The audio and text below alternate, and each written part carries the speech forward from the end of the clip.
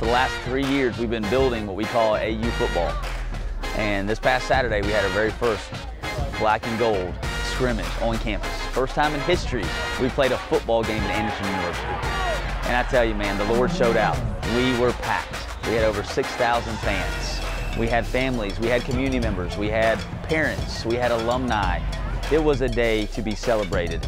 Um, these men have been working really hard. You know, they've been here all semester, practice after practice after practice, day after day, grinding, trying to get bigger, faster, stronger. Um, and then yesterday it all came to fruition. They got a chance to be on that field and play a game that a lot of us like to watch. And this community in Anderson, South Carolina showed out. And it was so much fun to be a part of it.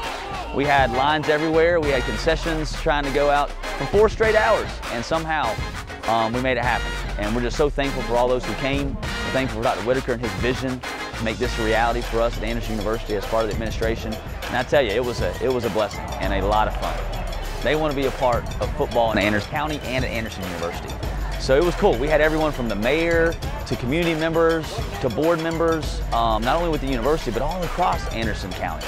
Um, and then just to see the love, you could feel the energy and the excitement. That stadium was rocking, and it was just a black and gold game.